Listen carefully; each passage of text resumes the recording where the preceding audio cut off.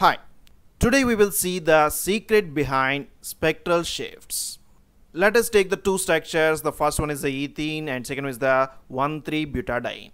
The lambda max value of ethene and 1,3-butadiene are going to differ where ethene is going to have a lambda max of 175 nanometer and 1,3-butadiene is going to show lambda max at the 270 nanometer.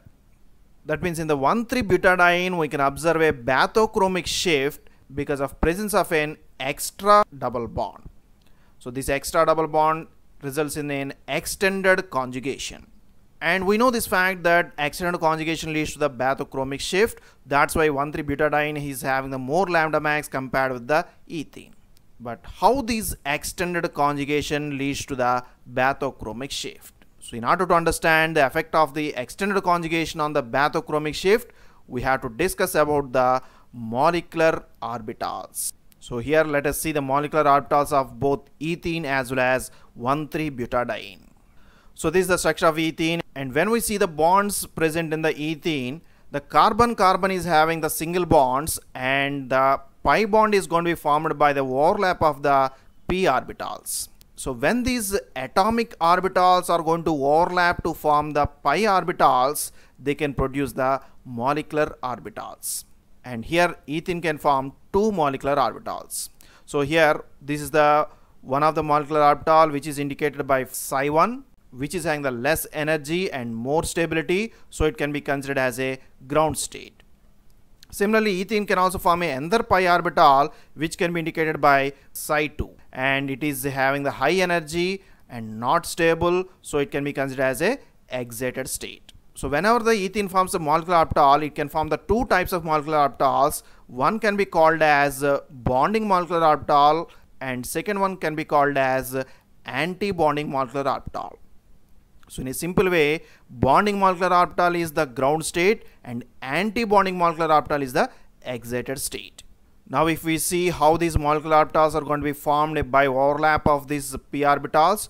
So in this ethene, when these p orbitals are going to be overlapped, they can form one of this uh, configuration where you can observe that the in between the carbon and carbon, the p orbitals are going to be overlapped in a similar way such that the positive lobes are above and negative lobes are below the plane. So this overlapping of uh, atomic orbital produces a stable molecular orbital which is indicated as the pi molecular orbital. And similarly, ethene can also form another molecular orbital where we can observe that the lobes of the p orbitals are going to be aligned in a opposite way so that this molecular orbital is less stable and it can be considered as the pi anti-bonding molecular orbital. So in this way, whenever the ethene is going to form a molecular orbital, it can form the pi bonding molecular orbital as well as pi anti-bonding molecular orbital. And under the resting conditions, the electrons will be present only in the bonding molecular orbital, which is a highly stable molecular orbital. So that's why this pi bonding molecular orbital can be considered as a HOMO, high energy occupied molecular orbital. And similarly, pi antibonding molecular orbital is uh, not stable. So it can be considered as LUMO, that is the low energy unoccupied molecular orbital. So normally electrons will not present on this uh, pi anti-bonding molecular orbital. So it is unoccupied. But when we supply the energy in the form of electromagnetic radiation, the electrons can jump from the pi bonding molecular orbital to the pi anti-bonding molecular orbital so that they can produce uh, pi to pi transition. So in order to jump from this HOMO to LUMO, the electrons require energy. That's why they will absorb the electromagnetic radiation. Now let us take the case of 1,3-butadiene. Again, if we see the bonds in the 1,3-butadiene, since here four atomic orbitals are going to be involved in the formation of two pi bonds, they will form four molecular orbitals. So when they are going to overlap, initially they can form two bonding molecular orbitals which can be indicated by psi 1 as well as psi 2. So these are somewhat stable and they can be considered as the ground state molecular orbitals or bonding molecular orbitals. And this overlap can also produce the other molecular orbitals which can be indicated as psi 3 as well as psi 4 which are nothing but the anti-bonding molecular orbitals. So under normal conditions, the electrons are present in the ground states like the psi1 and psi2. But when we supply the energy, the electron in the psi2 bonding molecular orbital can jump to the psi3 anti-bonding molecular orbital. Thereby it can absorb the energy. Now because of extended conjugation, we can also observe an increase in the molecular orbitals. Here you can observe two bonding molecular orbitals and two anti-bonding molecular orbitals. Now if we see how these uh, molecular orbitals are going to be formed in the 1,3-butadiene, first of all they can form a psi1 bonding molecular orbital where you can observe the, the pi orbital cloud is uniformly distributed above and below the plane and this is the more stable configuration and this is indicated as a psi1 bonding molecular orbital. Similarly in the psi4 anti-bonding molecular orbital again the lobes are going to be overlapped in such a way that the positive lobe is going to be overlapped with the negative lobe so that this molecular orbital is uh, least stable which can be indicated as psi4 anti-bonding molecular orbital.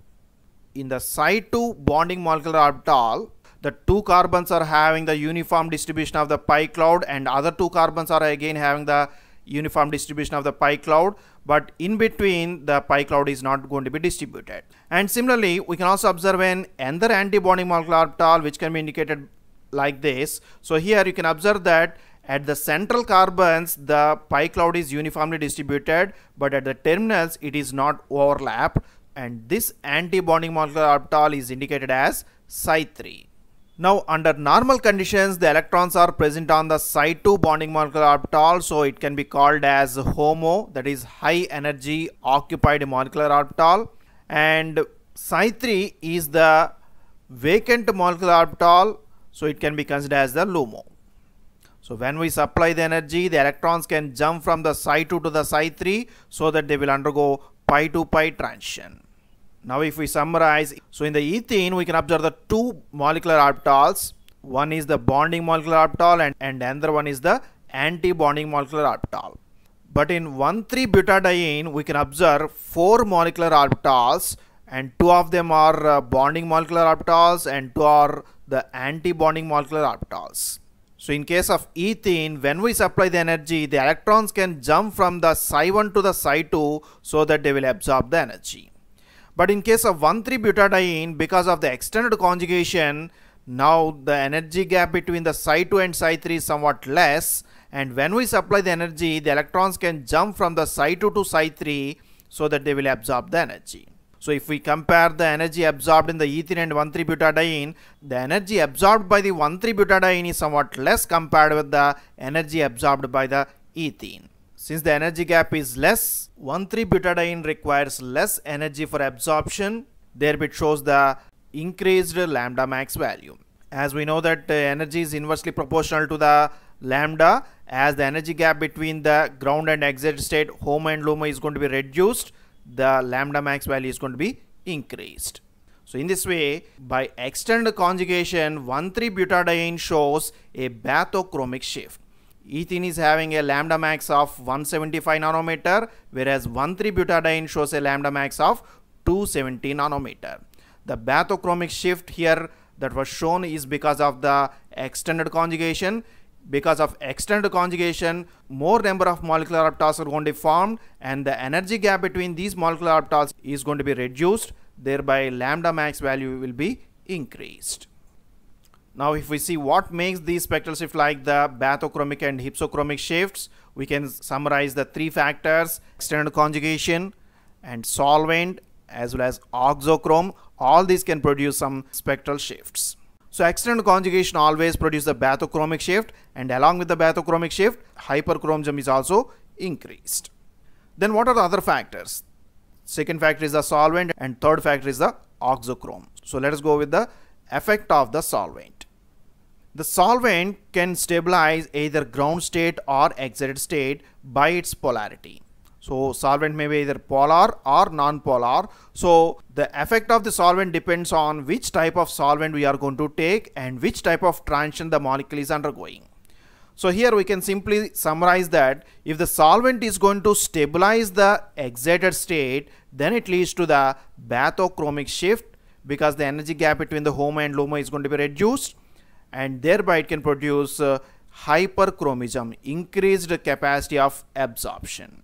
And this type of effect of the solvent on the lambda max is called as positive solvatochromism. So positive solvatochromism always increases the lambda max with increased capacity of, of absorption. Similarly, solvent can also stabilize this uh, ground state and when it is going to stabilize the ground state, the energy gap between the HOMO and LUMO is somewhat increased which results in the hypsochromic shift. So this hypsochromic shift always associated with the hypochromism. So here the solvent is not in a favor to the molecule. That's why this effect of the solvent is called as uh, negative solvatochromism. So positive solvatochromism is related with the bathochromic shift and negative solvatochromism is related with the hypsochromic shift. And another important factor is the effect of auxochrome. This is again uh, widely present in many of the molecules. So let us take an example of benzaldehyde. And if this benzaldehyde structure is going to be modified so that we are going to substitute a hydroxyl group at the para position, now this becomes uh, para-hydroxy benzaldehyde. So here this hydroxyl group acts as an auxochrome. Auxochrome is a group which increase the absorption of the chromophore. Chromophore is the substance which is responsible for absorption of the electromagnetic radiation and auxochrome is the group which is not actually responsible for absorption but it can increase the absorption of the chromophore. So here the chromophore is nothing but the benzaldehyde. Benzaldehyde can absorb the electromagnetic radiation but when this benzaldehyde is attached with the hydroxyl group here the hydroxyl group is going to increase the absorption so it acts as an auxochrome.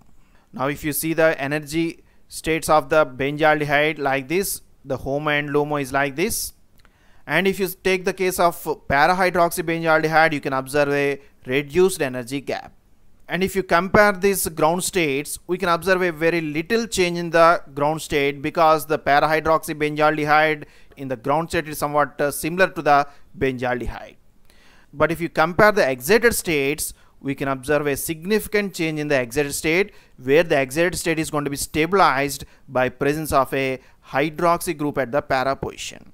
Now this hydroxyl group acts as an auxochrome which increases the absorption by stabilizing the excited state of the benzaldehyde. So in this way by presence of auxochrome the energy gap may be reduced and leads to the bathochromic shift as well as hyperchromism. So that's about these spectral shifts. Spectral shifts results in the shift of the lambda max. The lambda max may be either increased or it may be decreased. And when the lambda max is increased, it is called as bathochromic shift and it is also called as red shift. Similarly, when the lambda max is reduced, it is called as hypsochromic shift and it is called as blue shift. Here you can easily remember that B is not for B. That means bathochromic shift is not the blue shift, it is the red shift. Similarly, hypsochromic shift is the blue shift. And bathochromic shift can be produced by stabilization of the ground state where the energy gap is going to be reduced which results in the increase in the lambda max. And hypsochromic shift is mainly produced by stabilization of the ground state where the energy gap is increased and lambda max is decreased. And always bathochromic shift is associated with the hyperchromism that is increase in the molar absorptivity. And hypsochromic shift is associated with the hypochromism that is decrease in the molar absorptivity. And these spectral shifts can be affected by either extended conjugation or by presence of an auxochrome or sometimes by the polarity of the solvent. But the effect of the solvent depends on the whether the solvent is polar or non-polar and whether the molecule is undergoing pi to pi transition or n to pi transition. So that's for today. And if you like this video please don't forget to subscribe to our channel. And thank you for watching this video